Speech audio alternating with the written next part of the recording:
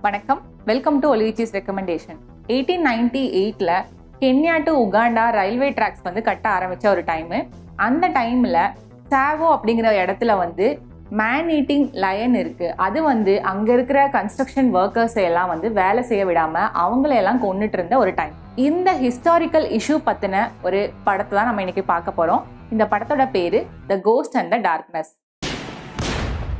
The ghost and the darkness. Now, can you control your fear?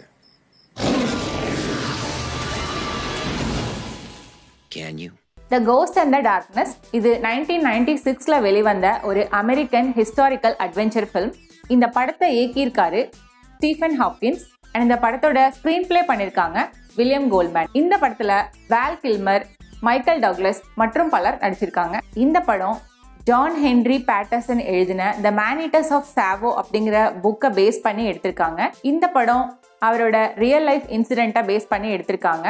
அந்த கேரக்டரை play பண்ணியிருக்காரு Val Kilmer eighteen ninety எயிட்டில் sir Robert Beaumont இவர் வந்து rail road ப்ராஜெக்டோட ஃபினான்ஷியராக இருக்காரு.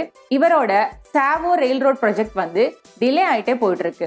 கென்யா டு உகாண்டோ கட்ட வேண்டிய அந்த ரயில்வே ட்ராக் வந்து ரொம்ப அவரோட ஷெட்யூலை தாண்டியும் எக்ஸ்டெண்ட் ஆகிட்டே போகிறதுனால அவர் வந்து lieutenant colonel John Henry Patterson இவரோட இவர் வந்து ஒரு பிரிட்டிஷ் என்ஜினியர் இவரோட உதவியை நாடி போறாரு.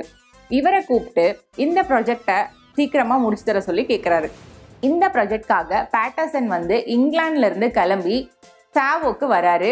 தன்னோட ஒய்ஃப் ஹெலனா வந்து ப்ரெக்னெண்ட்டாக இருக்காங்க. அவங்களோட டெலிவரிக்குள்ளே நான் திரும்பி வந்துடுவேன் அப்படின்னு சொல்லிட்டு அவர் கிளம்பி சாவோ ரீஜன் வராரு. அப்படி சாவோ ரீச் ஆன பேட்டர்சன் வந்து அங்கே இருக்க பிரிட்டிஷ் சூப்பர்வைசர் அப்புறம் அங்கே வேலை பார்த்துருக்க ஒர்க்கர்ஸ் இவங்களையெல்லாம் மீட் பண்ணி என்ன அங்கே நடக்குது எதனால் டிலே ஆகுது அப்படிங்கிற விஷயத்தையெல்லாம் வந்து செக் பண்ணுறாரு அதில் தான் அவருக்கு ஒரு விஷயம் தெரிய வருது. அங்கே வந்து மேனீட்டிங் லயன் இருக்குது அதுதான் வந்து அங்கே வேலை பார்க்குற ஒர்க்கர்ஸை எல்லாம் கொன்று அங்கே வேலை நடக்க விடாமல் தடுக்குது அப்படிங்கிற விஷயத்தையும் தெரிஞ்சுக்கிறாரு. தொடர்ந்து அந்த அன்னைக்கு நைட்டு பேட்டர்சன் தங்கியிருக்க அந்த கேம்புக்குள்ள வர ஒரு லயனை வந்து பேட்டர்சன் ஷூட் பண்ணி கொள்றாரு இதை கொன்னதை பார்த்த உடனே அங்கே இருக்கிற எல்லா ஒர்க்கர்ஸும் அதை ரொம்பவே கொண்டாடுறாங்க. ஏன்னா இந்த லயனால தான் வந்து எல்லாரும் வந்து ஒருத்தர் ஒருத்தரா செத்துட்டு இருந்தாங்க. அதனால எல்லா ஒர்க்கர்ஸும் ரொம்பவே பயந்து அங்கே வாழ்ந்துட்டு இருந்தாங்க. ஸோ அந்த பயத்தை எல்லாம் போக்குற மாதிரி பேட்டர்சன் அதை கொன்னதுனால எல்லாருக்கும் ரொம்ப சந்தோஷம் ஆகுது இப்படி ஒர்க்கர்ஸ் எல்லாம் ரொம்பவே சமாதானத்தோட நிம்மதியாக தூங்க ஆரம்பிக்கிறாங்க. அதுக்கப்புறமா மறுபடியும் அந்த அன்னைக்கு நைட்டு ஒரு சிங்கம் வந்து மஹினா அப்படிங்கிற ஒரு கன்ஸ்ட்ரக்ஷன் ஒர்க்கரை தூக்கிட்டு போகுது. அவரோட உடலை பாதி சாப்பிட்ட நிலையில அடுத்த நாள் காலையில கண்டெடுக்கிறாங்க பாக்கி இருக்கிற ஒர்க்கர்ஸ் இதை பார்க்கும்போது இன்னும் எல்லாருக்கும் பயம் ஜாஸ்தியாக ஆரம்பிக்குது. ஸோ இந்த மாதிரி நடக்கிற சம்பவத்தினால அந்த ரயில்வே ப்ராஜெக்ட் வந்து மறுபடியும் டிலே ஆக ஆரம்பிக்குது. இந்த பிரச்சனையெல்லாம் எப்படி பேட்டர்சன் சமாளிக்க போறாரு? இதுக்காக பேட்டர்சன் என்ன முயற்சி பண்ண போறாரு அப்படிங்கிறது தான் பாக்கி இருக்கிற கதை. இந்த படத்துல வர சிங்கம் வந்து ரியல் தான். இது வந்து சிஜே கிடையாது. அதுதான் இந்த படத்துக்கு வந்து ஒரு பெரிய ப்ளஸ் பாயிண்டா இருக்கு. அது மட்டும் இல்லாமல் இந்த படத்தில் பெரிய கதை அப்படிலாம் ஒன்றும் இல்லை.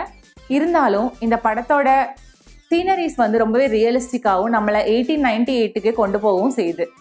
த கோஸ்ட் அண்ட் த டார்க்னஸ் வந்து ஒரு பெஸ்ட் ஹியூமன் அனிமல் கான்ஃப்ளிக் காமிக்கிற ஒரு படம். இந்த படம் வந்து தோ ஹாலிவுட்ல ஒரு அண்டர் ரேட்டட் மூவியாக இருந்தாலும் இது எங்களை பொறுத்த வரைக்கும் இது one of the best movie இந்த படத்தை கண்டிப்பாக மிஸ் பண்ணாமல் பார்த்து என்ஜாய் பண்ணுங்க.